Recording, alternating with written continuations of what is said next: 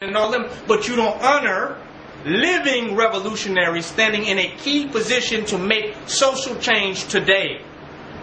You can look at their lives and qualify the integrity that they have to revolutionary transformation, and you telling me you don't support them, but you support Malcolm? You're a hypocrite. If you support Malcolm, you support living Malcolms. If you support Fred Hampton, you support living Fred Hamptons. If you support Yahweh ben Yahweh, you support living Yahweh ben Yahwehs. If not, you don't support them at all. And you would not have supported them when they were alive. A lot of people, I supported Malcolm. I love Malcolm, and I'm a real Malcolm person. But you didn't stand in front of Malcolm and get them bullets, though. But now you love Malcolm.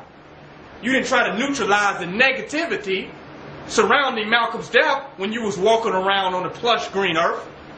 But now that now he's gone, you love Malcolm and you knew Malcolm. Bullshit. We're tired of that type of bullshit. If you love revolution and nation building, and you love existing revolutionaries and existing nation builders. Not just perpetuating some type of spooked out legacy or tradition. But you know, if you're walking across that street, Malcolm X ain't gonna save you from getting hit by a car. You need a living person to do it. If we have problems in our community today, you can't run to Malcolm X. You can't run to these people who have made their transitions. You have to deal with living people. And their spirit is alive in the living people. Huh? They're not dead because their spirit is inside of the living. And if you respect them, you respect the living energy that is embodied within the people that are on the earth. So my point is, we cannot make revolution by supporting Malcolm's ideas. We cannot make revolution by supporting Khalid Muhammad's ideas. We make revolution by supporting living revolutionaries. Living revolutionaries that are, that are ready to lead with the intelligence, with the strategy, with the dedication that are ready to lead the people out of this possessiveness of their oppressor. Support living revolutionaries. Study everything. Study everybody. Support living revolutionaries. Matter of fact, go beyond supporting a living revolutionary. Be one. And that's the majority of the necessary support is you being one. So these people who talk about legacy, and I love Malcolm and I love these people, Today, they're, they, they, they're Malcolms that have come. You can show your integrity to the cause and to the principle of which these people stood by how you address the living today. So, when people talk about unity and we need to unify, are you really putting yourself in a position? Are you really willing to step in a key place to hold up a significant part of revolutionary development? Or did you just saying that because it sounds good?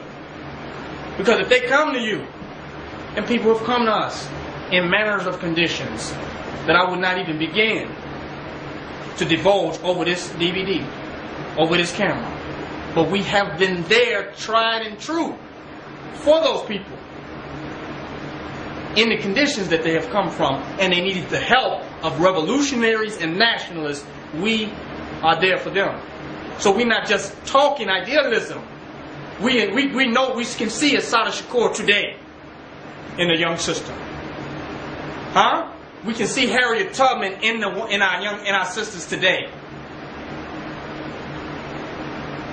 We can see Nanny and the Maroons in our sisters today. Because they're here today. And they're in conditions and situations of which their consciousness must be evolved to play those necessary positions in the revolutionary transformation of our people. Revolution isn't dead. It reincarnates itself in the living spirit of the people to bring about social change. So we have to recognize that in the manifestation of the people that are before us, or otherwise, we're killing the revolution in our attachment to the past. We're killing it because it ain't here no more. It's just something Malcolm was talking about, something from the 70s, Niggas ain't doing nothing today. This is the general attitude. You're wrong. Black people are doing something today, and you'll be surprised. if it's people standing on this earth now more powerful and more intelligent than anyone that you claim to worship from the past. They before you. And do you have to wait till those individuals are gone to realize how great the contribution of who they were and what they made to the planet?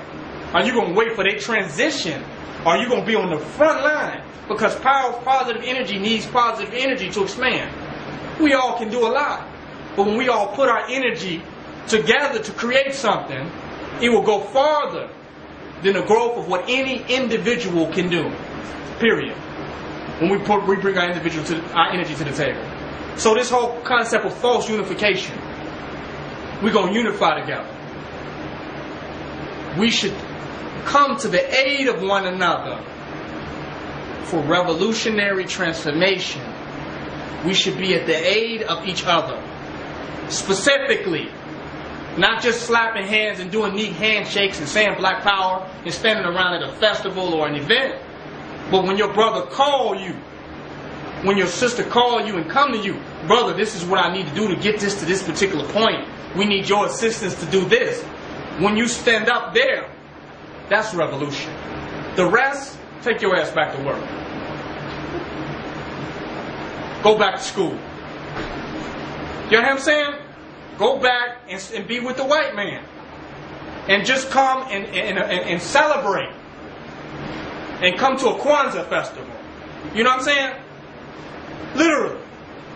Come and put your dashiki on and walk around for a few minutes, and when the event is over, take your ass back to the white man. But if you're serious about revolution, you will be in a key position when you are needed. Everybody sound cool, sound deep, but when it comes down to a needful situation, then you find out. Well, I don't know about that. That's your moment. What if the people who had got Assata Shakur out of jail had said, I don't know. I got something to do. Huh? But they ideologically, the imagery is there. But when you when you need it for assistance, it's I don't know, brother. That ha- that mentality has to change. So we don't want no superficial unity with some iconic nationalistic figure. It's people that are unknown, that nobody know about, whose contribution to this is just as significant to who you think the revolution is coming from. A homeless man on a damn street would be more of service to you than some of these iconic nationalistic figures because you know what? They will do all that they really can do. And your iconic figures won't do the least that they could really do to help a nationalistic movement actually expand. But they don't want a nationalistic movement. They want a successful black business. Do you know what I'm saying? And they make you think that, oh, I'm failing at cause, I'm failing at causing a revolution. I don't know what to do. We need unity. No, you're succeeding at having a black businesses. You're not failing at revolution. You've never even tried it. And their job is to discourage you from revolution, to incorporate you into successful black entrepreneurship. Huh? So everything that they're telling you, this ain't gonna work.